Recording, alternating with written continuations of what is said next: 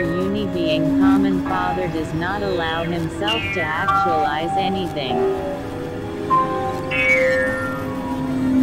And now, my boy, after my tale about this Lentrohamsanin, thanks to which you have received a concrete picture of the consequences for later generations of the activities of a typical representative of eternal Hasnamuss individuals, it will be opportune to explain a little more in detail, as I promised you, the significance of the word, Hasnamuss. In its widest sense the word, Hasnamuss, designates any three-brained being, whether he has already coded his highest being parts or consists of his planetary body alone, in whose common presence, under the influence of certain, individual impulses, a certain, something, arises which participates in the, completed formation, of his independent individuality. This, something, arises in these cosmic individuals and, during the process of the transformation of substances, blends with the crystallizations resulting from the action of the entire spectrum of what are called Nean impulses. Single quote.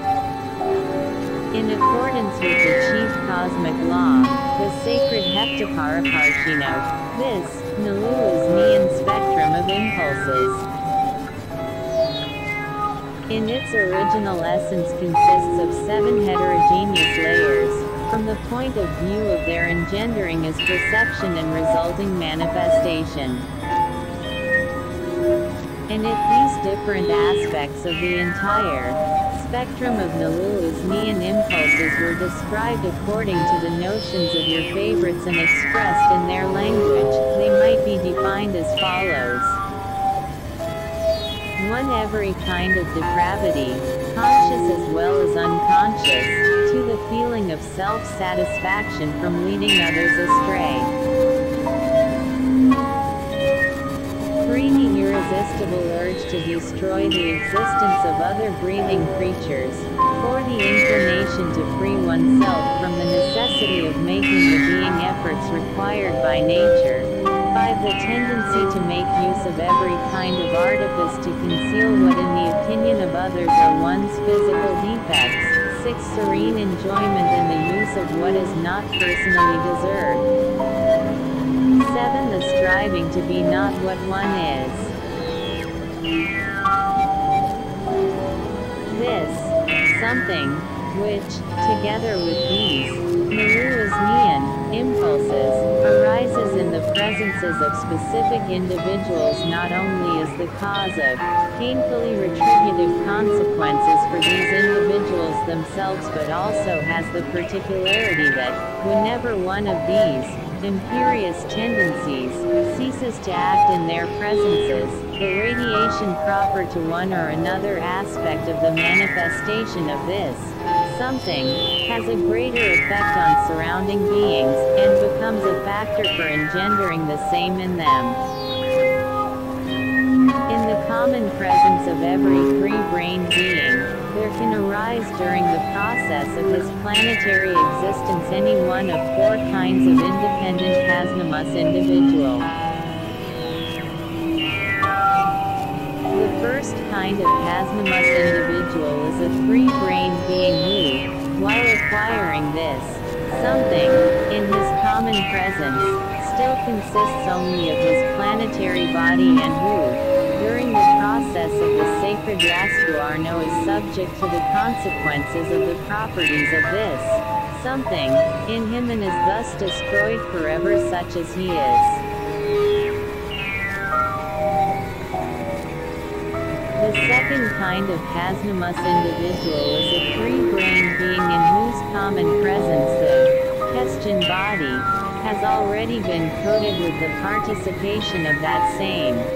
something, and, as is proper to such a cosmic arising, having acquired the property of Toranorino, that is, non-decomposition, in any sphere of that planet on which he arose, has to exist such as he is, undergoing certain transformations, until this something has been eliminated from him. A Hasnamuss individual of the third kind is a free-brained being in whose common presence the highest being body, or soul, has been coded, again with the participation of this something, and this highest being body also acquires the property of Toronorino, but this time corresponding to this highest coding, that is to say, it is not subject to decomposition, either in the spheres of that planet on which he arose, or in any other sphere of the great universe. The fourth kind of Hasnamuss individual is like the third, but with this difference, that the Hasnamuss of the third kind has the possibility of at some time becoming so to say, cleansed, from this, something, whereas for the fourth kind this possibility is lost forever. That is why the fourth kind of Hasnamuss is called an eternal Hasnamuss individual.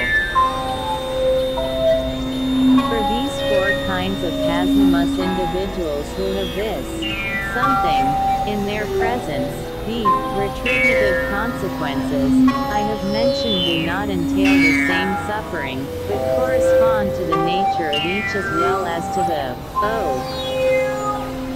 objective responsibilities flowing from the original foresight and hope of our common Father for these cosmic actualizations.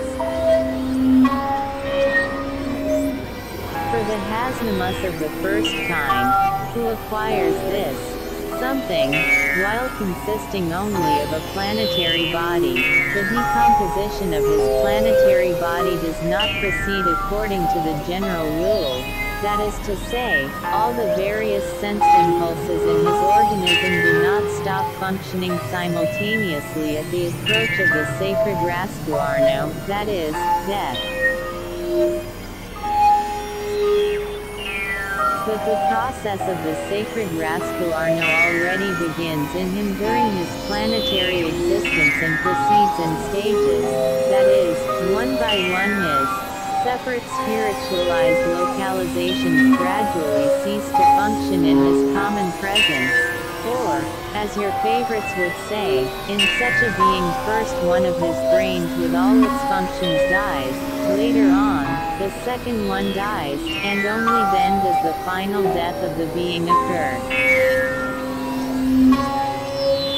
In addition to this, after the final death, the disintegration of all the active elements of which the planetary body was formed proceeds much more slowly than usual, and is subject to the inextinguishable action, lessening only in proportion to the volatilization of the active elements, of the Nurusnian impulses, sensed during his life.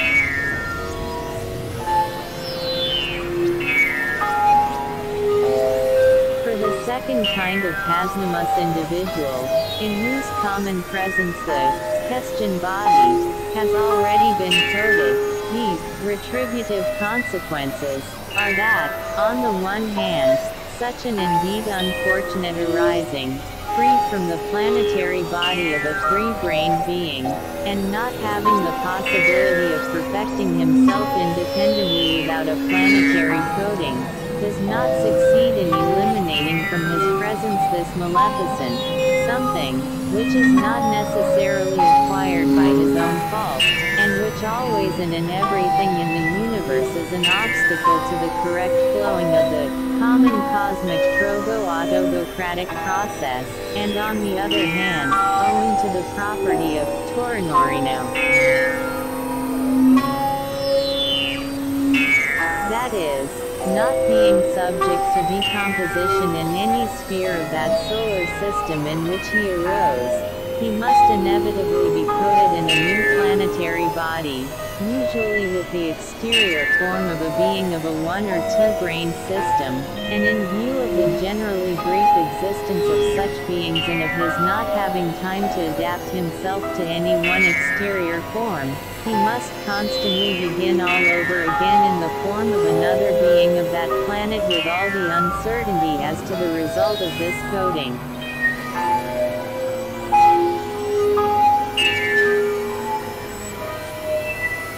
And as for a Hasnamuss individual of the third kind, namely, a three-brained being in whom the highest being body has been coded, but with this,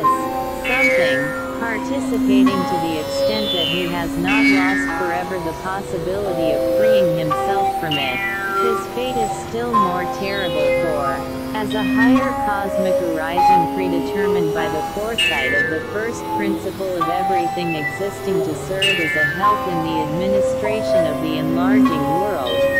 from the moment of his completed formation, even before being perfected in reason, was held responsible for every subjective manifestation, voluntary or involuntary, he has the possibility of eliminating this something, from his presence, but solely through the action of the results of intentionally actualized Partkdolg-duty, that is to say, of conscious labor and intentional suffering.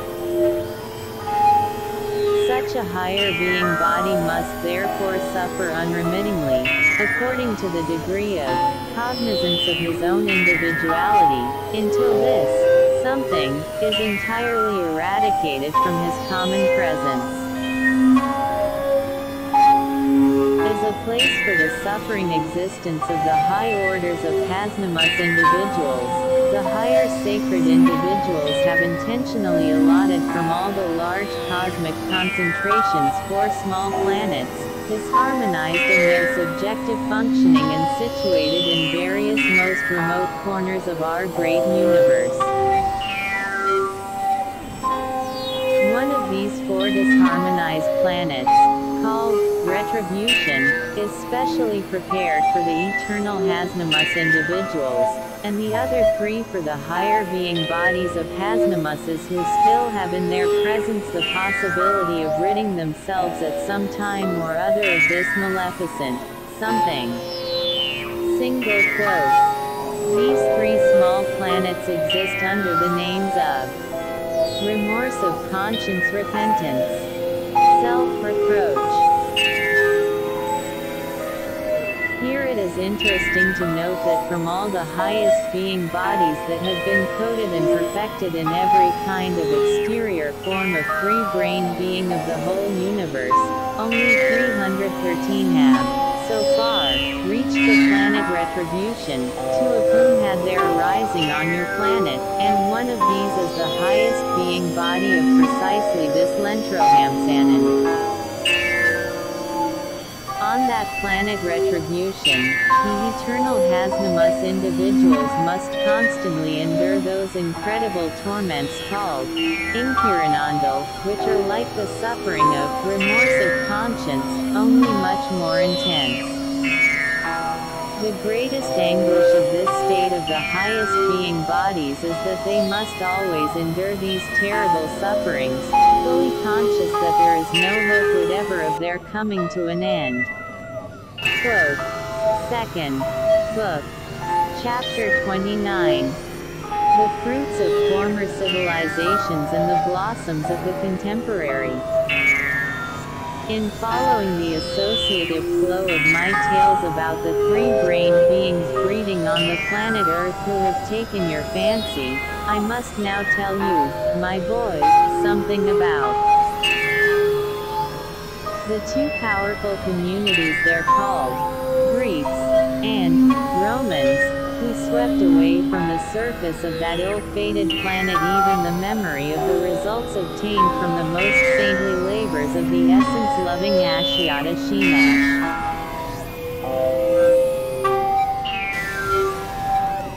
First of all I must tell you that at the time when, your planet, on the continent of Asia, the definitized sacred conception of our now omnicosmic, very saintly Ashiata Shiemash was actualized from above within the presence of a three-brained being, and also later, during the period of his very saintly activities and the subsequent gradual destruction by your favorites of all the results issuing from them, great numbers of those strange free-brained beings existed on the neighboring continent called Europe, and had already grouped themselves into various independent communities. According to the cosmic laws I once mentioned to you, the two communities that during those periods became the greatest and most powerful, that is to say, better organized and possessing more means than the others for the process of reciprocal destruction, were the Greek and Roman communities. And about these very ancient communities, ancient, that is, from the point of view of your contemporary favorites, I must tell you and possibly even in detail, for not only did they make a clean sweep from the face of that unfortunate planet of the last results that might have been beneficial for the three-brained beings of all subsequent epochs, and even of all trace of the memory of the very saintly labors of the essence-loving Ashiata Shiemash, but also they were the cause of the utter nonsense that proceeds in the reason of your contemporary favorites, and of the complete atrophy in them of that fundamental being impulse, the main lever of objective morality, called organic shame. A closer acquaintance with these large groupings of your favorites and with the various blessings bequeathed by them to the beings of later epochs will help you to understand how separate independent communities are formed there, and how a given community, having become powerful, with no thanks to the beings themselves, takes advantage of this to begin destroying everything attained by other less powerful communities and forces its own new inventions upon them, in most cases sincerely imagining that these are just what the others need. I must warn you, my boy, that my story of the arising of those ancient communities called the Greek, and the Romans, and of everything later connected with them, is not based on my personal investigations, but only on the information about them that I got from one of the beings of our tribe who chose to remain forever on that planet of yours. In descending to the planet Earth for the sixth and last time, I was determined, at any cost, to elucidate for myself all the genuine reasons why the psyche of the three-brained beings on that planet, which should be like the psyche of all the three-brained beings of our great universe, had become so exceptionally strange. And having repeatedly confirmed, during my investigations, that the fundamental cause of the various abnormalities in the general psyche of contemporary beings was the so-called civilization, spread by these two large groups of beings called the Greeks and the Romans, I was obliged to investigate certain details about them also. But as I was fully occupied at that time with my research concerning the activities of the very saintly Ashiata Shiemash, I entrusted the inquiry into the history of the arising of these two independent groupings of your favorites, with respect to what is called their subjective being, to that same member of our tribe who, as I have already told you, still carries on an undertaker's business in a large city on the continent of Europe. From the investigations of this countryman of ours, it seems that long, long ago, before the period of my tale about the majestic city of Babylon, that is, when the existence of those strange beings was proceeding mainly on the continent of Asia and their chief center of culture was in the country of Tikliamish, there were as yet no definitely organized communities on the continent of Europe, which is now the principal place of existence of your favorites. At that time, there chiefly existed on that continent two-brained and one-brained beings called wild quadrupeds and reptiles. As for your favorites, the biped beings, they existed there only in small groups and were almost as wild as the quadrupeds themselves. Small groups of biped beings occupied themselves only with destroying the quadruped and reptile beings, and occasionally also one another. And the number of your favorites on the continent of Europe did not increase until emigrants from Meralkli Sea, wandering from one region to another, finally arrived on the continent of Europe and settled there. Migrated from Tikliamish to that continent a number of beings of the first Asiatic group who followed two quite different professions. Some of them were engaged in various marine occupations, and others in raising cattle and sheep. The sheep-raising families settled chiefly on the southern shores of the continent, which at that time were very suitable for the grazing and fattening of these quadruped beings. And that group of terrestrial beings was then called Latinaki, a word that meant shepherds.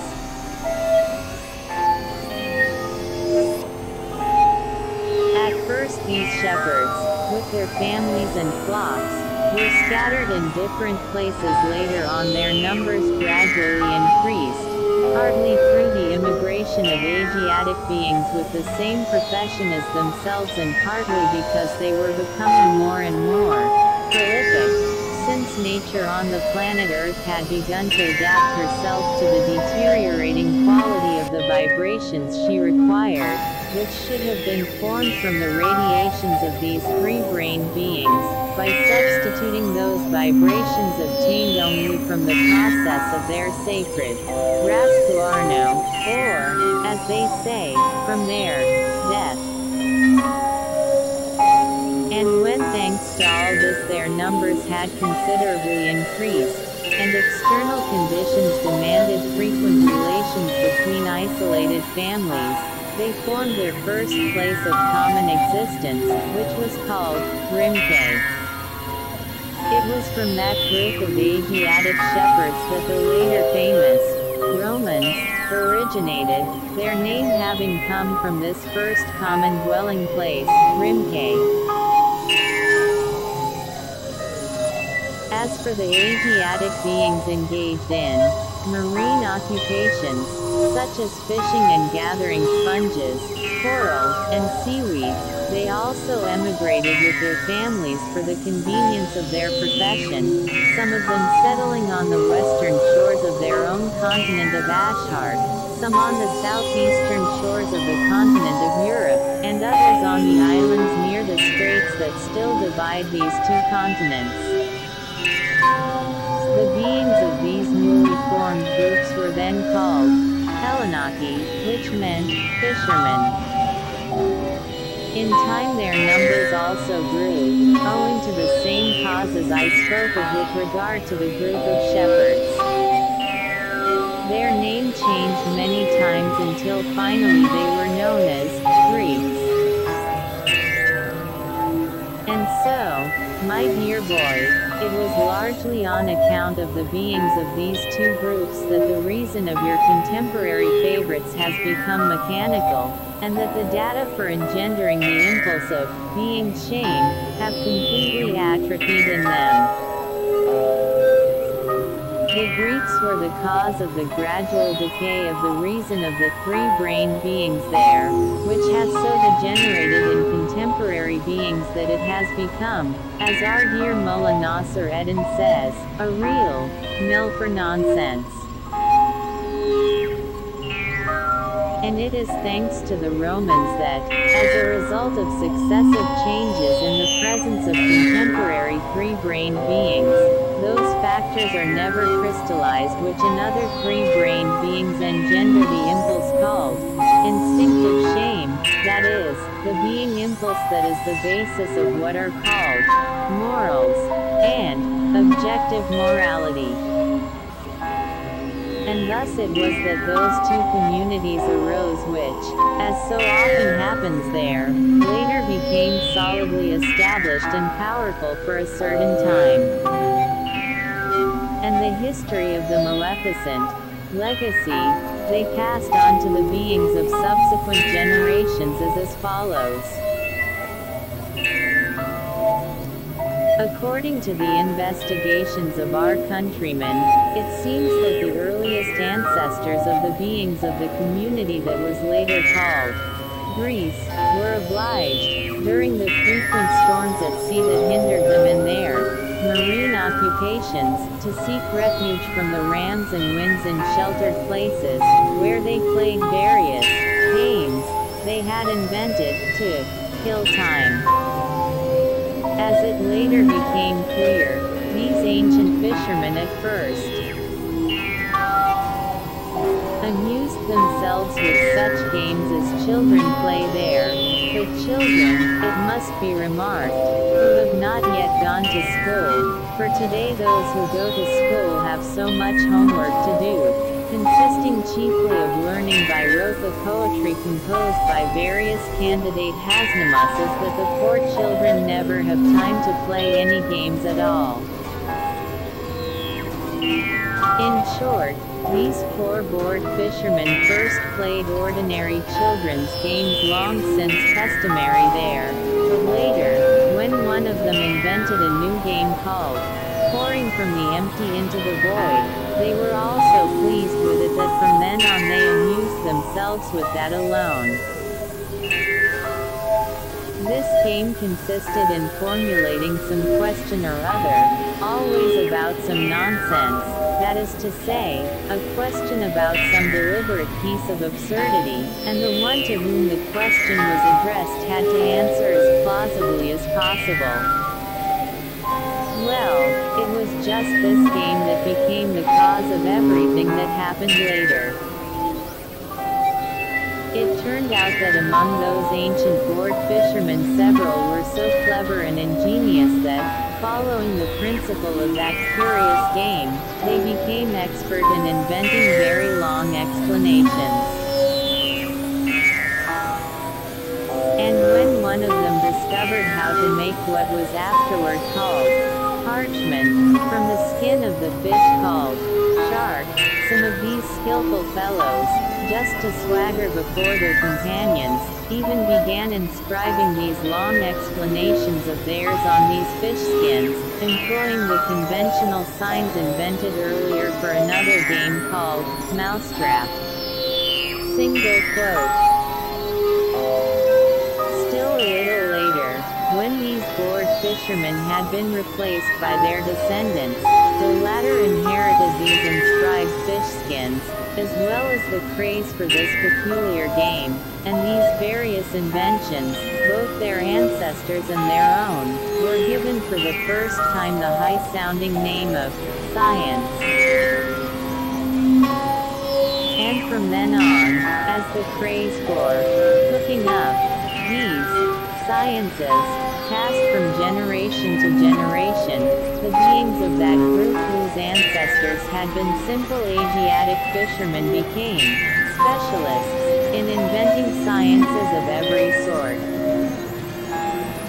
These sciences, moreover, also passed from generation to generation and certain of them have reached contemporary beings of that planet almost unchanged. Hence it is that almost half of what are called the ego-plastikoori, arising in the reason of the contemporary beings of that ill-fated planet, from which, in general, what is called a world outlook, is formed in beings, are crystallized just from the truths, invented by those bored fishermen and their descendants. Regards the ancient shepherds who later founded the powerful community called Rome, their ancestors also were often forced, on account of bad weather, to seek refuge for their flocks in sheltered places, and to pass the time together somehow or other. And so, since they were together, they did a lot of talking but when everything had been talked out and they felt bored, one of them suggested that as a relief they should take up the occupation which they were the first to call Shinfu contra